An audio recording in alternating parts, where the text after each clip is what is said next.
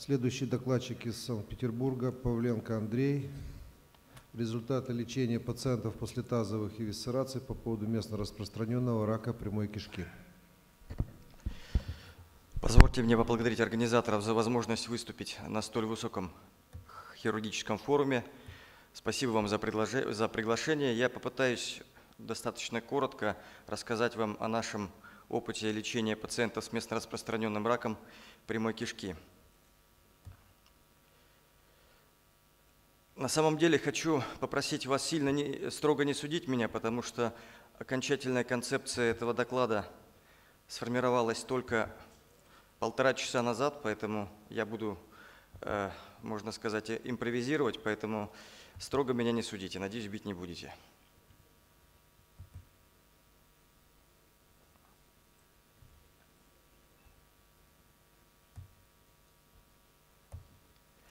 Это наш диспансер, находится он в самом центре Санкт-Петербурга, в старинном здании. Напротив него есть сквер, и в этом сквере стоит памятник великому русскому писателю Некрасову Николаю Алексеевичу. Этот э, писатель, к сожалению, в 1876 году заболел раком. И это весьма символично, его нахождение именно в нашем центре, рядом с нашим диспансером, потому что у него развелась местно распространенная опухоль прямой кишки. Вот как описывает э, известный хирург Слифосовский то, что он обнаружил у Некрасова. В окружности верхней части прямой кишки находится опухоль величиной с яблоко, которая окружает всю периферию и, вероятно, причиняет ее превращение крестцовой кости, отчего эта часть кишки неподвижна. Соответственно, месту этой опухоли находится весьма значительное сужение кишки. Сужение кишки весьма значительно так, что верхушка пальца едва в него проникает. К сожалению, спустя полтора года Некрасов в мучениях умер. Это было, к сожалению, на тот момент неизбежно. Э, вскрытие производил известный анатом Грубер, который на вскрытии на секции нашел место распространенную опухоль, занимающую практически всю полость малого таза, с распадом, образованием тазового абсцесса и флегмоны таза. При этом не было обнаружено ни одного отдаленного метастаза ни в одном органе. Это как нельзя лучше описывает э, истинную местно распространенную опухоль прямой кишки, то, о чем мы будем с вами сегодня беседовать. Я бы хотел привести слова достаточно известного специалиста по химии лучевой терапии, это Глемелиус, он говорил о том, что несогласованности в тактике лечения местно распространенного рака прямой кишки гораздо меньше, чем несогласованности в определении предмета дискуссии. Неоднозначность полученных результатов, в том числе в рандомизированных клинических исследованиях, связана прежде всего с неоднородностью опухоли. Обратите внимание, Т3. Еще одно экспертное мнение – это достаточно известный американский хирург Анджелита Хабргама – она описывает таким образом местно распространенный рак. Это опухоль, которая не может быть резицирована без высокого риска оставления микро- или макроскопически различимой опухолевой ткани в связи с врастанием или фиксацией опухоли к мезоректальной фасе. Обратите внимание тоже на это. Давайте посмотрим, о чем они говорят. Вот схематично представлена опухоль. Т3. Они говорят о местно распространенной опухоли до мезоректальной фасции и называют это местнораспространенным раком. Мы прекрасно знаем сейчас, как поступать с такой категорией пациентов. Первое, в первую очередь он пойдет к радиологу, получит длительный курс химиолучевой терапии, и с большой долей вероятности произойдет downstaging, downsizing, то, о чем мы хорошо знаем. И нам удастся с вами выполнить нормальную операцию органосохранную в объеме TME, тотальной мезоректомэктомии. Даже если мы не получим хорошего ответа на химиолучевую терапию, у нас всегда есть резерв. Париетальная фасция таза, экстрафасциальный подход, мы всегда можем уйти на один уровень глубже и также получить негативный латеральный край резекции, при этом сохранив все соседние органы. А что делать с такими пациентами? Вот это, на наш взгляд, и есть истинно место распространенная опухоль. И, к сожалению, подходов единства в лечении этих пациентов нет занимающая весь малый таз по данным МРТ, часто выходящая за пределы, скажем так, покровов кожных, и на, после изучения макропрепарата занимающая более 15-20 сантиметров, достаточно часто. Что делать с такими пациентами? Кому направлять их? К сожалению, по нашему опыту радиологи достаточно часто отказывает. Я бы сказал, э, частота отказов приближается к 100% в проведении неадъювантного химиолучевой терапии таким пациентам. Химиотерапевты также берут их неохотно. Давайте рассмотрим, почему. Это характеристика нашего э, опыта Мужчин было гораздо меньше, к сожалению, женщинам не повезло, 75% женского пола. Первичные, э, первичные пациенты с первичными опухолями встречались довольно часто, это 87%. Средний возраст не такой старый, 60 лет. Чем же характерна местно распространенная опухоль? Чаще всего, в подавляющем большинстве, это осложненная опухоль. Мы видим, что почти в 20% это межорганные свищи, кишечной непроходимости, кровотечение, анемия, гидронефроз, тазовый абсцесс, болевой синдром. К сожалению, это все заставляет пациента, э, приводит его в состояние, которое часто бывает непригодным для проведения любого неадъювантного лечения. Можно ли сравнивать эти две категории пациентов? На наш взгляд, нет.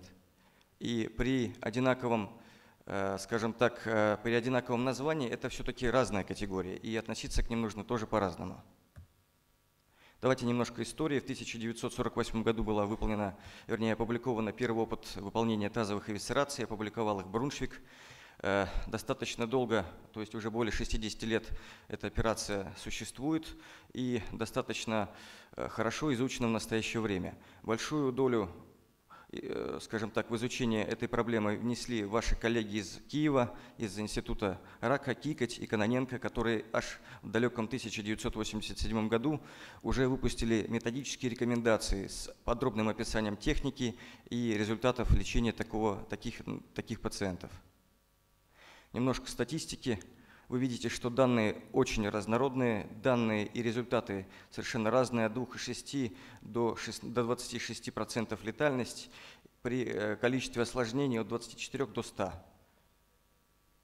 Пятилетняя выживаемость также очень сильно разнится, 49, 49%, 60%, у кого-то вообще не было выявлено пятилетней выживаемости – а теперь немножко подробнее о том, с чем мы имеем дело в нашем диспансере. К сожалению, мы имеем очень печальную статистику. 60% пациентов, которые поступают к нам в клинику, имеют опухоли Т3, Т4. И кроме этого, мы имеем порядка 5-7% локорегионарных рецидивов после, предыдущего, после предыдущего лечения.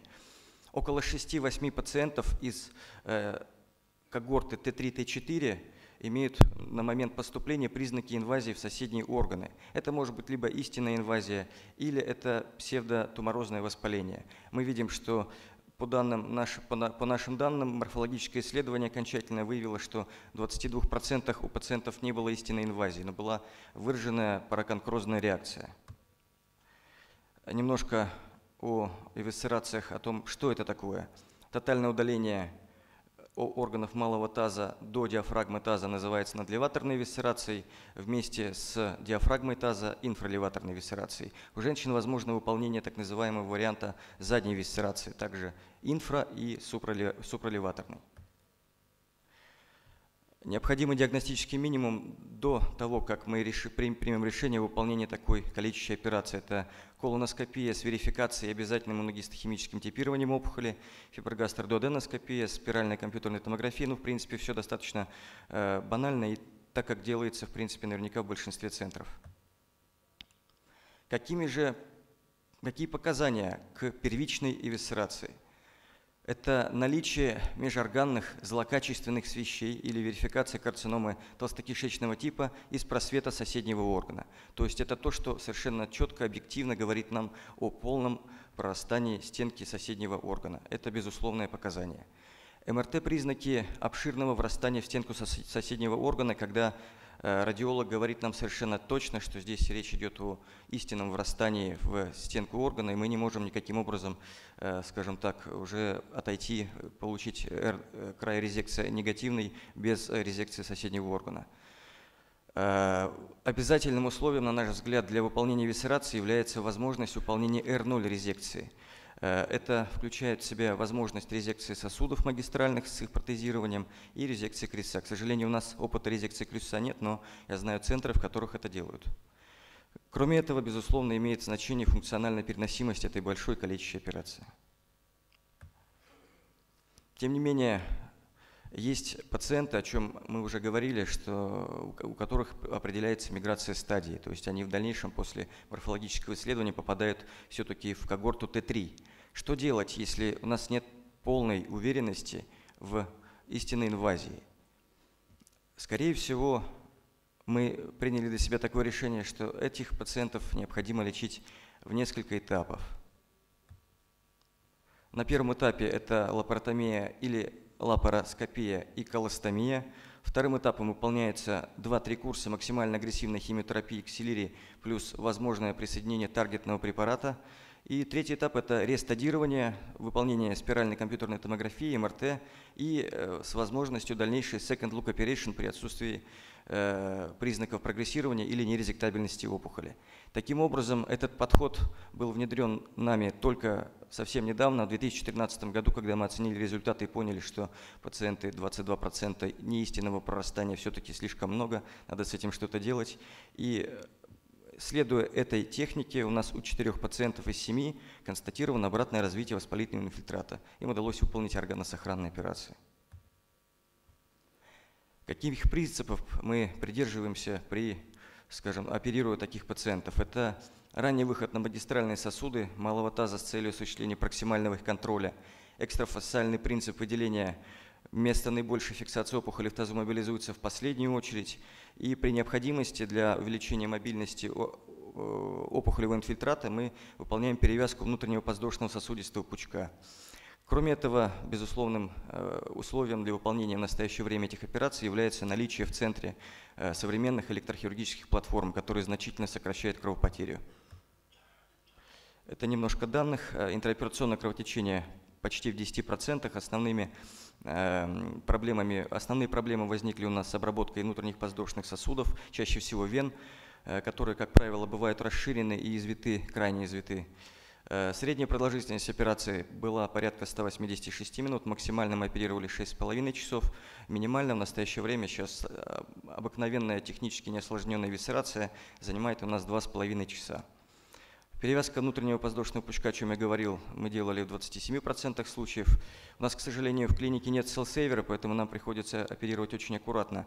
И, как вы видите, объем кровопотери более 2 литров у нас был только у одного пациента. Э, в данных литературы мы встречали среднюю кровопотерю до 17 литров. Э, в одном случае мы делали протезирование левой общепоздушной вены, средний койкодень составил 25, что немало. Но, тем не менее, э, это характеризует тяжесть операции и тяжесть этой, этой, этой, этой когорты пациентов. Какие результаты? Как часто мы делали какие операции? Тотальная эвисцерация была почти в половине случаев, в 39 пациентов. Из них 14 случаев тотальная инфраливаторная и в 33 случаев, 33% тотальная надлеваторная эвисцерация. Задняя надлеваторная, вы видите данные, не буду подробно останавливаться. И у пяти пациентов, с которым выполнялась задняя, надлев... задняя эвисцерация, мы выполняли сегментарную резекцию мочевого пузыря. То есть эта операция носила характер комбинированный. Осложнения встречались в 45,7%. Основные, наиболее грозные осложнения – это перитонит, э, который э, развился у 10 пациентов, что составило 12%. К сожалению, 5 пациентов после э, развития такого осложнения погибли у нас. Апостоматозный нефрит и тяжелый сепсис был у одного пациента, он тоже погиб от сепсиса. Ну, вы видите данные. Хочу остановиться немножко на атонии мочевого пузыря. Практически все пациенты, которым были выполнены задние экзентерации с сохранением мочевого пузыря, страдали от этого осложнения. Релапартомии были выполнены у 14 пациентов, умерло 8, летальность составила почти 10%. Причины смерти вы видите. Это очень важная таблица, обратите внимание, это то, с чего я начал свой доклад. Более половины пациентов имеет вторую стадию по данным окончательного гистологического заключения. То есть это не просто потенциально курабельные, а абсолютно имеющие все шансы на пятилетнюю выживаемость. Хотел немножко остановиться на кумулятивной выживаемости у этих пациентов. К сожалению, данные только по декабрю 2014 года. У нас в декабре 2014 года произошло обновление программы популяционного канцерегистра Ленинградской области. К сожалению, оно пока не закончилось. Я надеюсь, что через пару месяцев у нас будут более актуальные данные. Но вы видите, что, к сожалению, паллиативные операции, которые мы выполнили, они имеют крайне низкую онкологическую эффективность. То есть э, э, здесь представлена трехлетняя выживаемость не более 10%. Немножко подробней. R1, R2 резекция. Э, никто не пережил двухлетний порог. Метастазы в печени наиболее перспективная группа пациентов, потому что при возможности выполнения либо одномоментно, либо вторым этапом выполнения резекционного вмешательства на печени с R0 Э, ситуации, они живут более пяти лет. У нас три пациента, которые в настоящее время нами наблюдаются и живы более пяти лет. Карциноматоз брюшины, к сожалению, только двое прожили более одного года. Я не знаю, есть ли возможность выполнять у таких пациентов ХИПЭК, но, видимо, это вопрос для дальнейшего исследования. И несколько пациентов были потеряны у нас из, э, скажем так, в рамках наблюдения. Это кумулятивная выживаемость радикальных операций. Вы видите, что она значительно лучше, и пятилетняя выживаемость составила 35%. Я думаю, что по данным современного среза э, эта кривая будет несколько выше и составит около 40%. Это классические фотографии операции после э, тазовых эвисцераций. Это тотальная эвисцерация была выполнена. Вы видите визуально, как выглядит экстрафасциальный подход. Это выполнение задней экзентерации – и э, демонстрация того, как мы решаем проблему пустого малого таза. Какие выводы можно сделать? Радикальная эвисцерация малого таза должна являться стандартной операцией в арсенале хирурга-онколога. Выполнение тазовых эвисцераций в опытном центре позволяет достичь адекватных показателей непосредственно отдаленной выживаемости. Нас вчера очень э, гостеприимно приняли в красивейшем городе Киеве, и эта фотография Э, монаха Агапита, который интуитивно лечил больных достаточно хорошо и не имея никакого медицинского образования. Если сравнить ситуации с местно распространенными опухолями прямой кишки, мне кажется, мы приблизительно на уровне агапита. Почему? Потому что в настоящее время нет единых взглядов на лечение больших местно распространенных опухолей прямой кишки. Более того, нет единственного понимания, что такое местно распространенная опухоль. Нет общепринятых протоколов исследования макропрепарата для оценки качества хирургического лечения, для выделения когорты пациентов с высоким риском рецидива, которым возможно было бы проведение химиолучевой терапии в адъювантном варианте. И, к сожалению, нет общепринятых протоколов адъювантной терапии. К сожалению, много нет. Есть мы, есть, к сожалению, эти пациенты, которых необходимо лечить. Спасибо за внимание. Спасибо за доклад. Уважаемые коллеги, э, в связи с тем, что галаужин переносится на 18.30, у нас есть возможность задать докладчику несколько вопросов. Пожалуйста, у кого есть вопросы? У меня вопрос. Э, ну, первое, те, кто э, оперировали таких пациентов, прекрасно знают самую, наверное, тонкую и сложную историю вот во всех этих вмешательствах. Это при тотальной эвисцерация, деривация мочи. Совершенно верно. Я не стал об этом э, акцентировать внимание, но в большинстве случаев мы выполняли деривацию мочи по брикеру, потому что, на наш взгляд, оптимальным является резервуар низкого давления, максимально короткий, как это можно было для, профил, для того, чтобы профилактировать восходящую уроинфекцию. И э, в пяти случаях была выполнена уретерокутаностомия в связи с крайне истощенным э, состоянием пациента. Трем из них в дальнейшем при отсутствии прогрессирования нам удалось выполнить вторым этапом деривацию также по Брикеру. А не было у вас э, при тотальной э, эвисцерации попыток деривации мочи в? Э, был один Mainz pouch 2 во второй модификации. Mainz pouch 2, совершенно верно. Один, у одного пациента это незначимый опыт, к сожалению, но мы э, не очень часто используем такие варианты. Спасибо.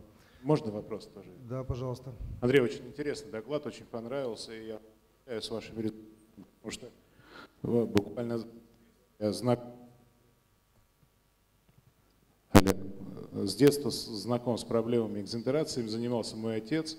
Да. э, занимался, и большое спасибо, очень приятно было видеть его статистику, но чаще экзентерации делались, конечно, по поводу рака шейки матки.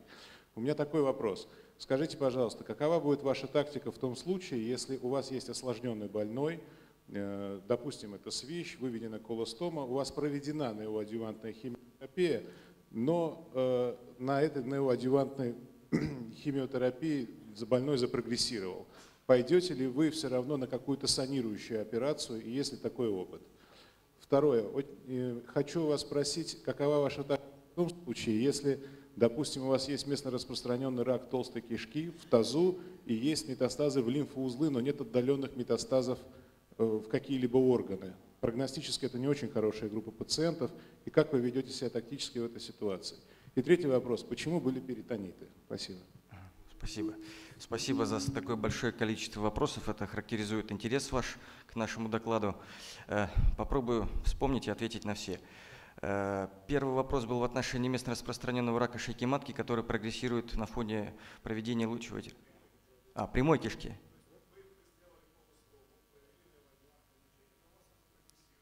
Если э, мы не проводим лучевой терапии, мы проводим только химиотерапию. И э, на этом фоне у нас не было прогрессирования, потому что э, срок между проведением, э, между началом неоадъювантного лечения и операцией не очень большой, потому что мы максимально активно пытаемся лечить этих, эти- этих пациентов. Может быть, это неправильно, но мы пока не знаем, мы находимся на пути поиска оптимального варианта лечения. Э, Поэтому, ну вот, если вас устроит такой ответ. Э, Второй вопрос был в отношении э, лимфоузлов. К сожалению, это бывает, и в на- в на- в нашей статистике это не, не так часто, всего у 30 пациентов на круг вышло э, наличие метастазов в лимфоузлах, это и третья, и четвертая стадия э, на круг получилось, но э, не оперировать их мы не видим, мы не, мы не можем, потому что наличие таких осложнений, как, которые я вам представил, делает, скажем так, пациентов глубокими инвалидами и без операции. Поэтому, да, дюкс-С, к сожалению, это прогностически очень плохой знак, мы все об этом знаем, но третью стадию никто не отменял, что ее нельзя оперировать. Это второй вопрос. И третий вопрос был в отношении а, перитонитов. Я могу вернуться, показать вам статистику, а, или ну, можно, в принципе, так. Это три несостоятельности уретера илионастомоза, три э, несостоятельности илиокондуита, ну, непосредственно э, э, перфорации, скажем так, э, резервуара выведенного. И э, в, одном, а в двух случаях у нас была значимая с развитием перитонита несостоятельность кулоанально- кулоанального анастомоза.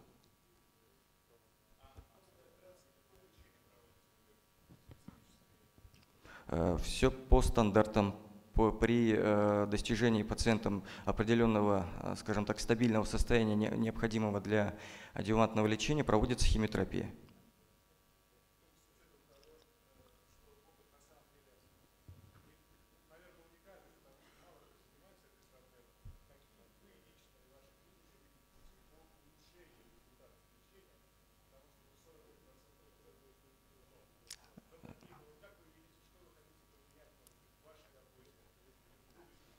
Я думаю, что э, необходимо кооперироваться и проводить э, хорошие рандомизированные исследования для того, чтобы понять, какая опция лучше. Мы не знаем пока. Мы находимся в начале пути, можно сказать, потому что сейчас есть понимание о том, что эта проблема достаточно серьезная. И давайте приходить к какому-то консенсусу, потому что он необходим. Вот так. Еще есть вопросы, коллеги? Да, пожалуйста.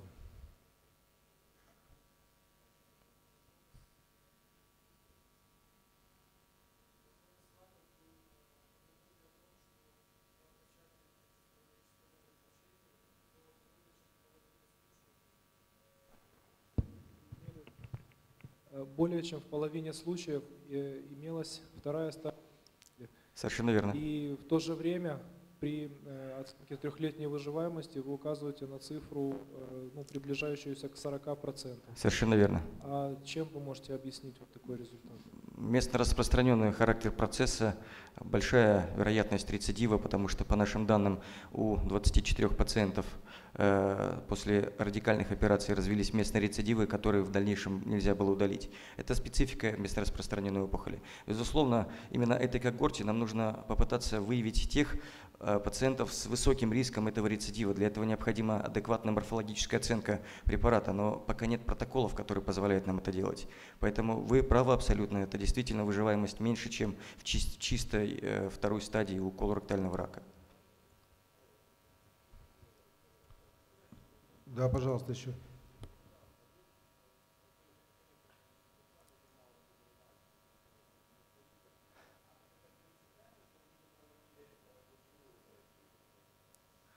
Э, я ждал этого вопроса, спасибо.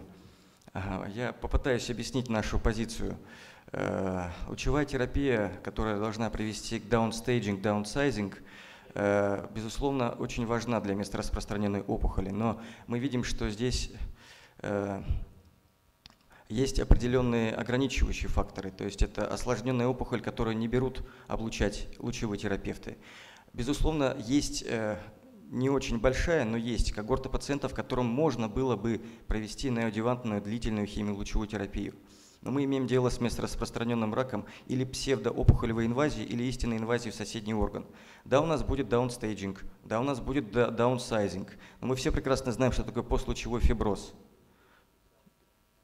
Фиксация, скажем так, больного органа к соседнему останется, а понять, что это, либо это фиброз, либо это истинная опухоль, ни один МРТ-специалист не скажет и не, отдаст руку на сечение, понимаете?